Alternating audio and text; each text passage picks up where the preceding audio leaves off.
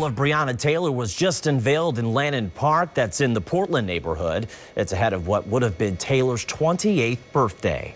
The mural is painted on a former basketball court at the park.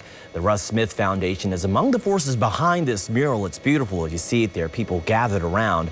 Now, aside from the family, community members, protesters, and public officials were were all there today for that unveiling.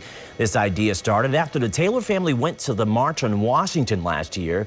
They traveled to see Annap to Annapolis to see the Breonna Taylor mural there and spoke to one of the artists. He says he told Breonna's mother if he had the opportunity, he would love to do a mural in her hometown.